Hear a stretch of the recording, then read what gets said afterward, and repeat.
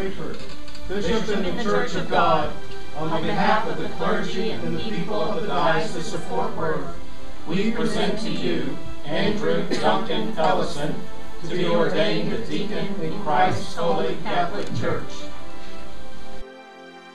Has he been selected in accordance with the canons of this church? And do you believe his manner of life to be suitable to the exercise of this ministry? We certify to you that he has satisfied the requirements of the canons, and we believe him to be qualified for this order. Andrew, will you be loyal to the doctrine, discipline, and worship of Christ as this church has received them? And will you, in accordance with the canons of this church, obey your bishop and other ministers who may have authority over you and your work? I am willing and ready to do so, and I solemnly declare that I do believe the Holy Scriptures of the Old and New Testament to be the Word of God, and do contain all things necessary for salvation. And I do solemnly engage to conform to the doctrine, discipline, and worship of the Episcopal Church. I will now ask the ordinand to sign the declaration of conformity, and then those who are presenting will follow as witnesses. Is it your will that Andrew be ordained a deacon? It is. Will you uphold him in this ministry? We will. Andrew, as a deacon, show us what God's care for the least and the last, the smallest, the plainest, the most vulnerable looks like. Help us see that bending our knees in worship is not separate from bending our knees in courageous service to our neighbor.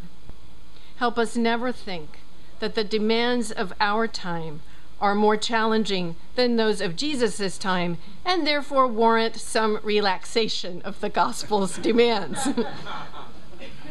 Show us how to care for the desperate near and far, how to resist the violence that wants to become a part of our culture, how to be ready for the Spirit's tug on our hearts when we read or hear the news. Come among us as one who serves draw us into service with you and never, ever stop. Amen. God now calls you to a special ministry of servanthood directly under your bishop. In the name of Jesus Christ, you are to serve all people, particularly the poor, the weak, the sick, and the lonely.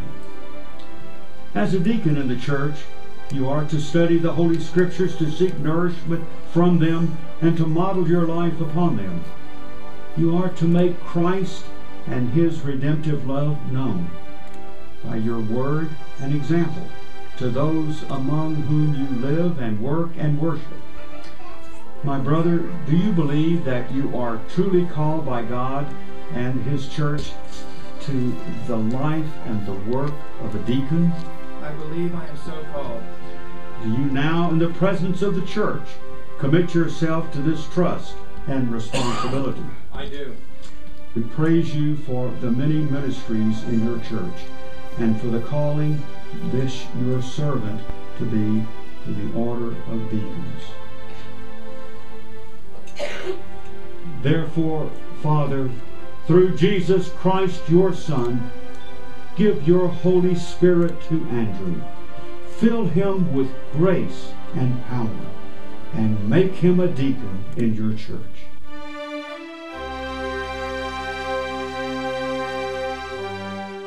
I'd like to give you all an opportunity to welcome the newest deacon in God's church along with his family.